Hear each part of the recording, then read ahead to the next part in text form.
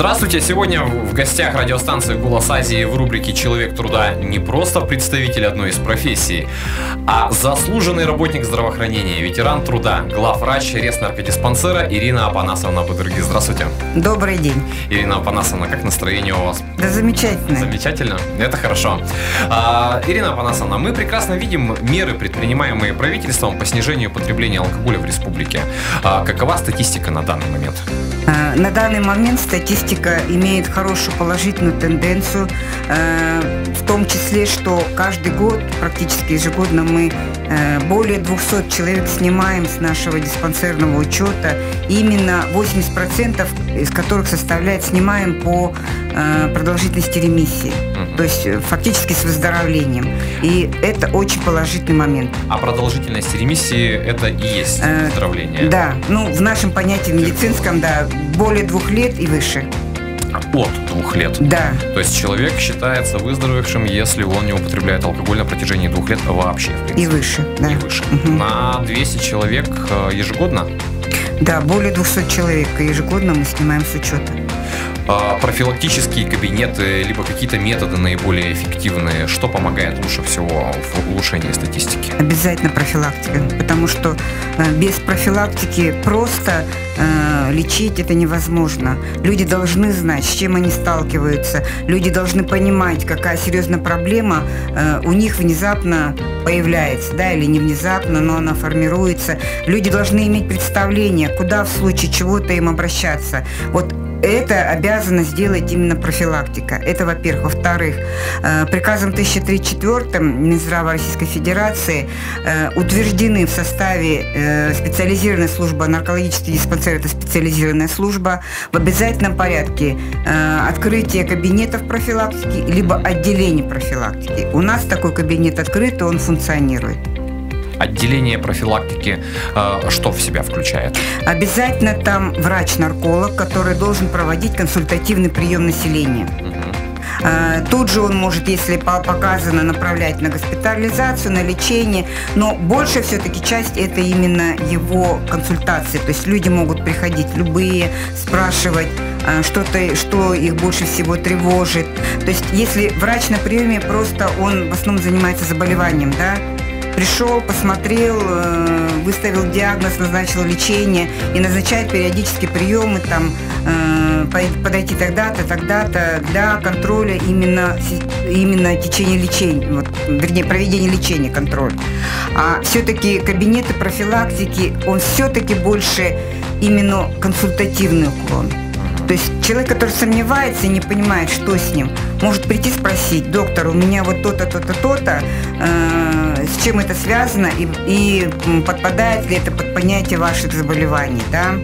Ну, не человек или там родственники, допустим, приходят с проблемой, вот у нас там то-то, то-то, то-то, разъясните нам, пожалуйста.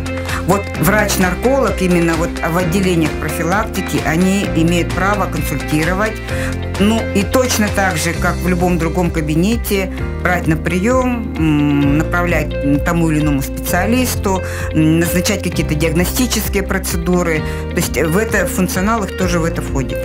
Как часто сами пациенты приходят. Без... Понятно, когда приходят родственники, потому что в первую очередь это отображается на них, как на людей самых близких. А как часто сам человек, осознав свою проблему, пользуется услугам профилактических кабинетов? Ну, э, вы знаете, хочу сказать, просто по статистике э, в наш стационар впервые поступают люди, к сожалению, э, по скорой помощи. То есть у нас пока население еще не готово к тому, что э, если возникают проблемы с алкоголем, это надо обязательно идти к врачу. Хоть везде, всегда мы об этом говорим, призываем обращаться, пусть даже на, на анонимной основе, неважно как, но человек должен прийти к врачу сам. И э, пока этот процент невысок. Но вы знаете, хочу сказать, что э, есть все-таки тенденция положительная к тому, что это количество из года в год все увеличивается. Пусть на немного, пусть там человек на 10 в год, пусть на человек на 5 в год, но все же э, процент э, обратившихся самостоятельно у нас растет. Ну, И это э, тоже входит в состав профилактики. Профилактики. Конечно, это роль профилактики. Я знаю, что вы как человек с богатым опытом, именно связанным с профессией, как работник здравоохранения, активно выступаете за введение метода трезвителей. Можно про, про это поподробнее? Да, согласна. Вы знаете, все-таки мы должны понимать, что раньше вытрезвители, когда находились э, в составе, в структуре МВД, э, они выполняли роль э, профилактики правонарушений, да, преступлений, ну, в отношении пьяных или же совершенными людьми в нетрезвом состоянии, то потом, вот буквально после развала СССР эта функция утратилась. И мы получили просто э, всплеск э, пьяной преступности. Соответственно, когда э, чиновники наши обратили на это внимание, э, той структуры, которая была создана, и в России, в частности в нашей республике, ее уже не существовало.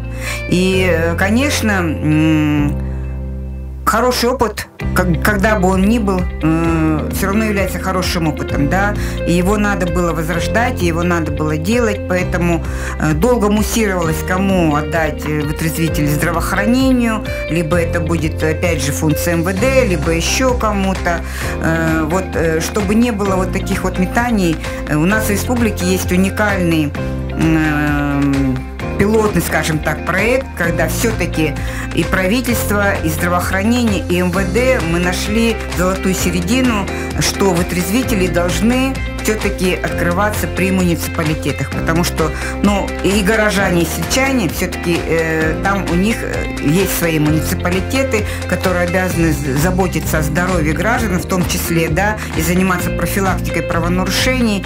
И фактически мы, вот Баш, Башкоркостан, Тува, Э, на сегодняшний день э, единственные регионы, где у нас вытрезвители существуют именно в том виде, в котором они у нас созданы, именно при муниципалитетах. И я считаю, что это очень хороший опыт, потому что нашим опытом интересуются, э, нас об этом спрашивают, и мы говорим о том, что это эффективно и это может работать. Это во-первых. Во-вторых, э, вытрезвителей сейчас, кроме города Кызыла, пока нету. Но вот э, в этом году э, поступили деньги, финансируются. Открыть еще двух вытрезвителей – это Шаганар и Абдоурак. Пока в Шаганаре я уже видела там Э, фотографии идет ремонт здания самого бывшего вытрезвителя. В Агдураке пока проблема затягивается из-за невозможности передать э, земельный участок, который принадлежал э, Министерству внутренних дел консультативная помощь тем сотрудникам, которые будут работать в медвытрезвителях, уже сейчас на данный момент оказывается, потому что, ну, скажем так, это немного забытая практика и достаточно сложная. А, Реснаркодиспансер э, принимает какое-то участие в консультации будущих специалистов, которые будут работать, либо вообще здравоохранение в целом? Обязательно.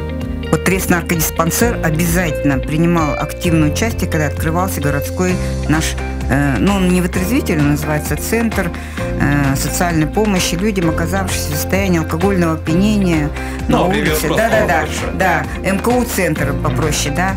Значит, э, конечно, когда его открывали во-первых, мы смотрели здание, мы смотрели помещение, как это будет, насколько место оно будет рассчитан, с какая его годовая будет, значит, потребности, вернее, в том или ином финансировании, да, Э, мы всех э, сотрудников, которые туда были приняты, понятно, что это не медицинское учреждение.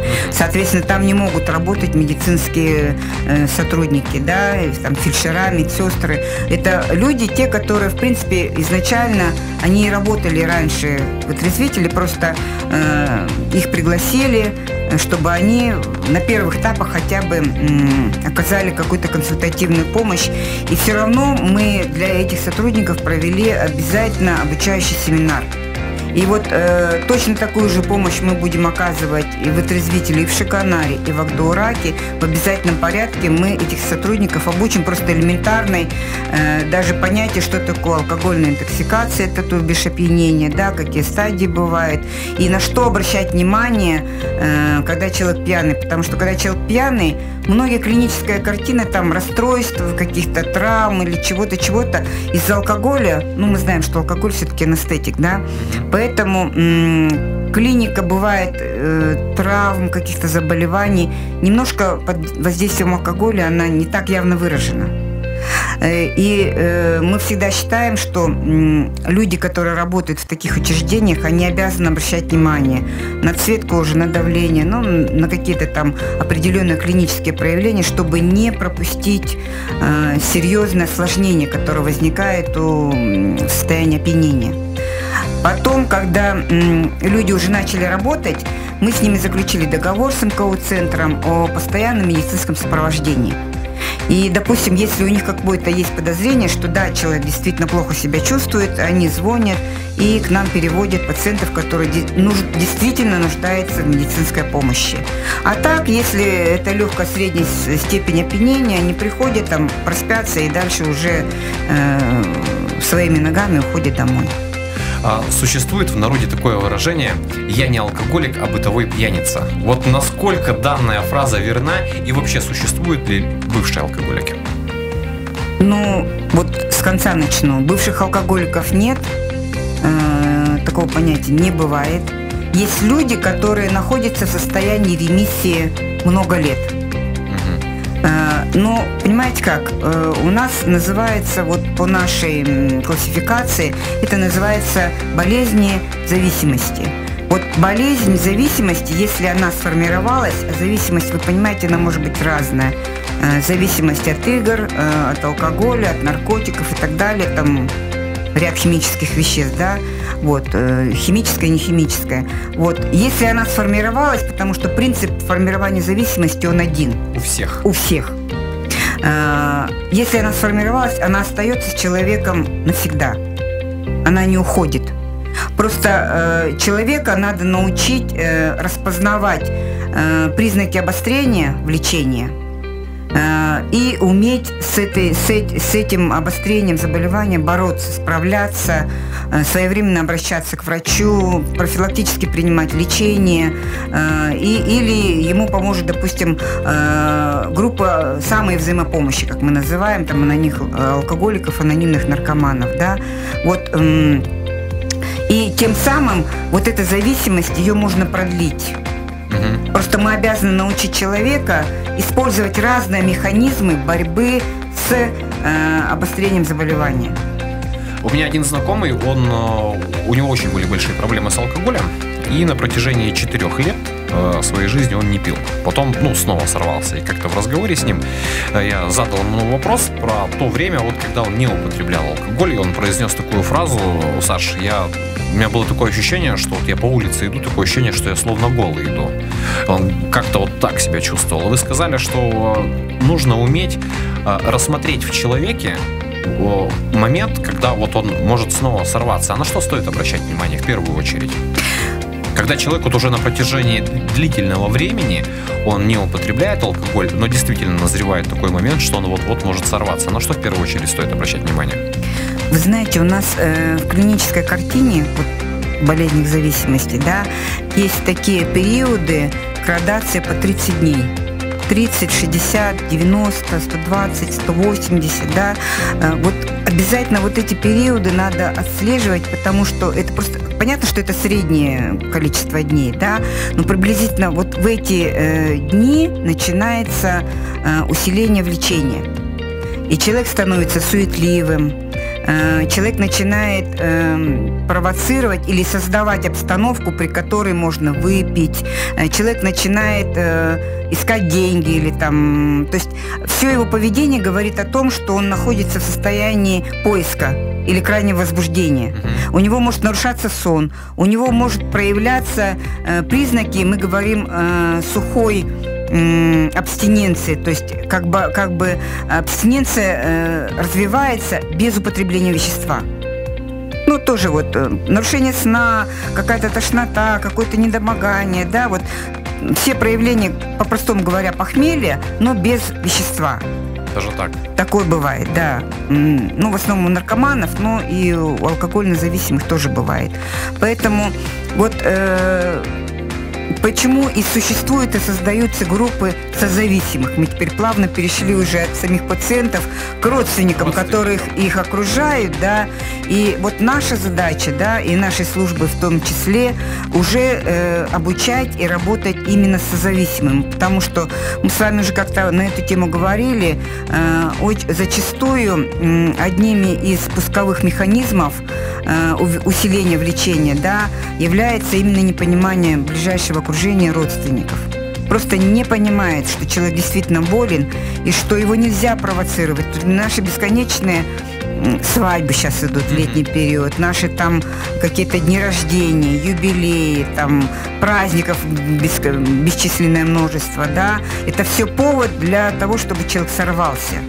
Мы понимаем, что человек не может в вакууме находиться, все равно он в социуме, да, он живет, у него есть соседи, конечно, у него есть друзья, но во всяком случае от родственников много зависит от того, чтобы какой-то период, вот когда наступает вот эта вот суетливость, да, как-то оградить, может быть, его куда-то э, увести, может быть, занять чем-то, нагрузить так, чтобы он вздохнуть не мог, или э, переключить просто внимание на другое. То есть э, и это может, вот эти периоды обострения, они могут потом плавно сойти на нет, и человек дальше потом э, будет оставаться в трезвости.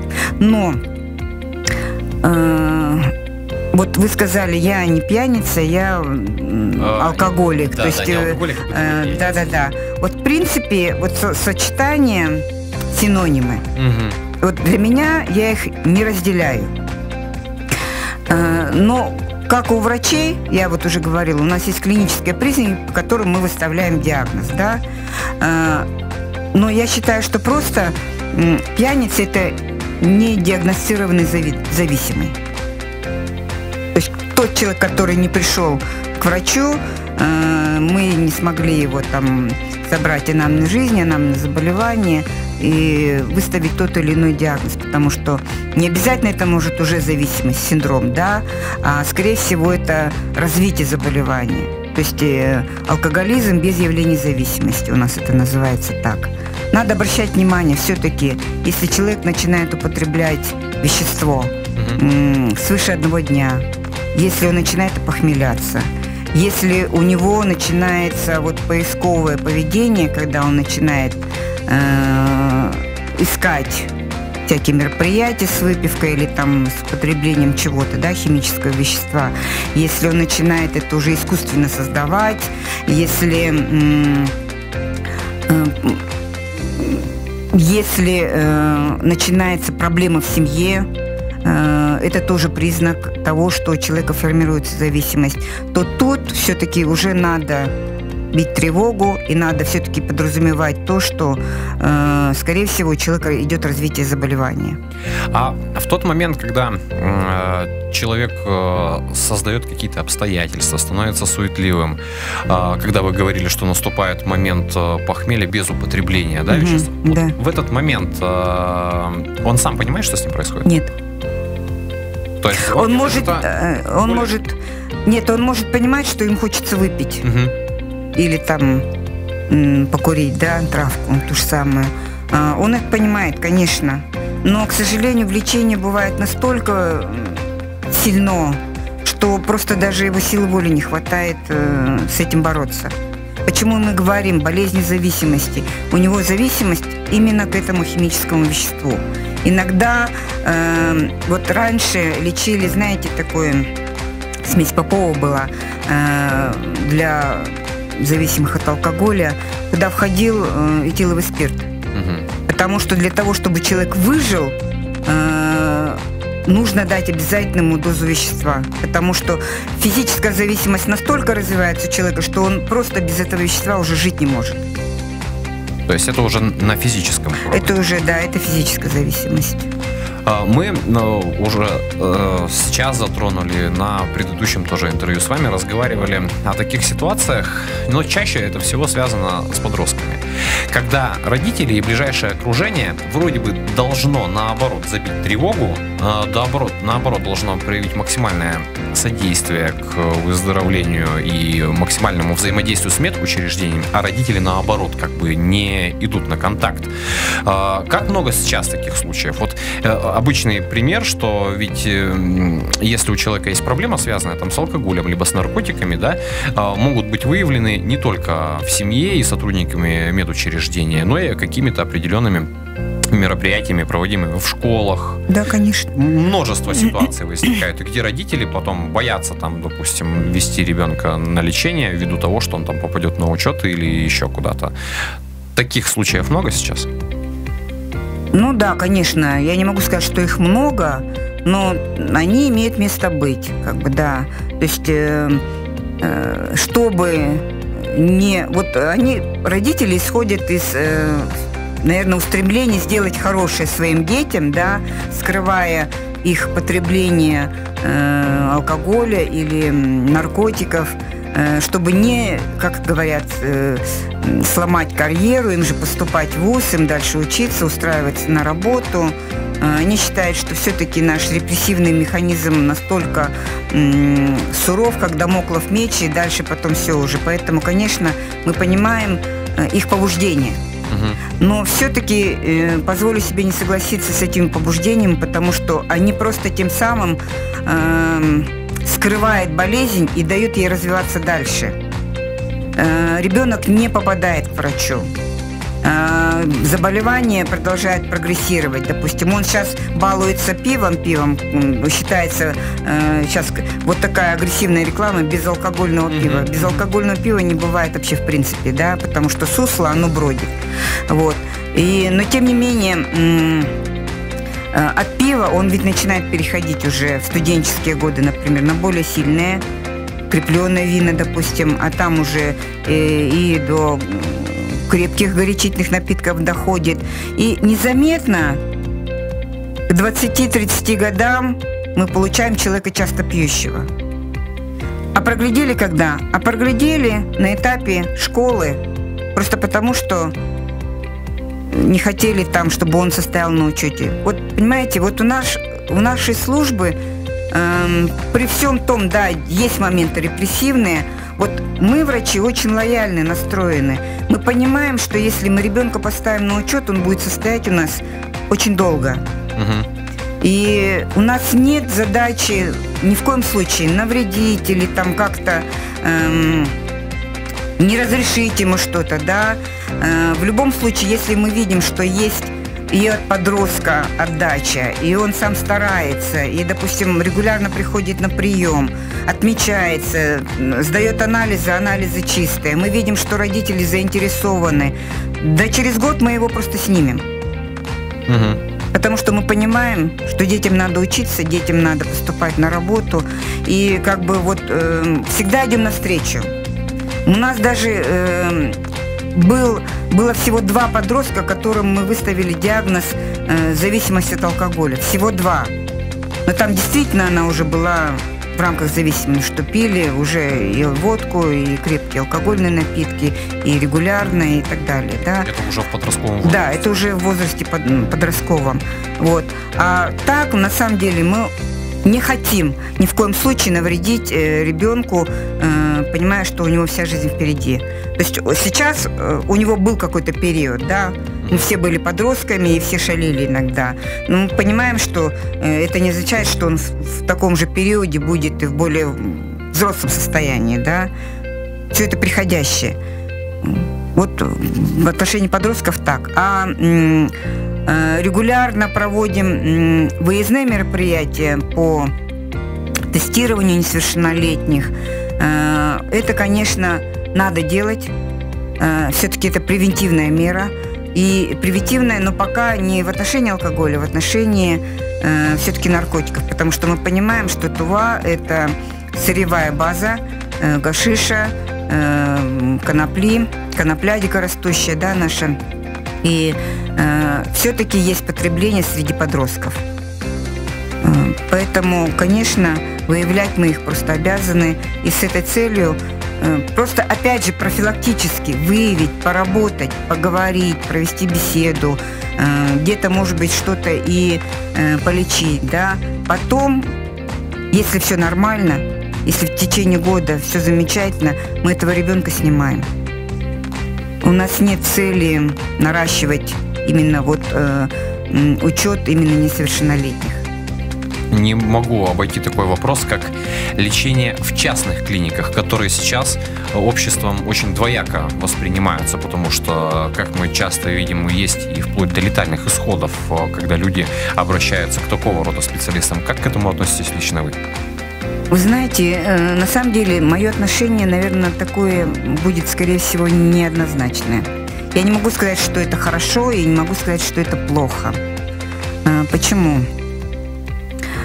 Потому что э, вот наша государственная система здравоохранения, именно наркологическая служба, она стандартизирована, регламентирована, у нас есть стандарты лечения, у нас есть протоколы лечения, и э, мы э, обязаны оказывать э, медицинскую помощь э, строго в рамках установленных требований, да, нормативных документов.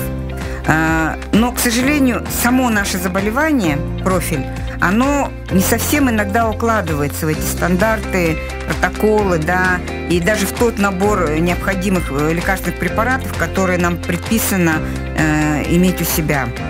Все-таки э, здесь, наверное, иногда считаю, что частичка Бога тоже присутствует, и э, если э, человек пришел к Богу, немало, немаловажный, кстати, аспект в выздоровлении – э, там очень активную роль у нас играет и православная церковь, да, и буддийские ламы наши. Если человек пришел Богу, он может бросить. Почему нет? Если это идет на благо человека. Ну, кроме сект, я имею в виду, mm-hmm. да, кроме э, нетрадиционных там всяких, э, как их называют, там, э, да, религиозных групп. Вот. Кроме того, э, где-то какое-то что-то потрясение случилось в семье, человек тоже бросил пить. Имеет место быть, имеет место быть. Потом нельзя с, с, скидывать со счетов все-таки э, феномен анонимности. Вот эти частные клиники, они могут представлять э, вот так, такого рода услуги. И я считаю, что они э, очень популярны в населении, да, потому что не всем хочется состоять на учете у врача-нарколога. Опять же, по социальным проблемам, да, это и работа, это и, э, и отношения, и отношения людей, конечно. Э, но помимо всего этого, единственное, что вот во мне вызывает пока негатив, это все-таки отсутствие серьезных требований к этим э, частным клиникам. А они фактом отсутствуют?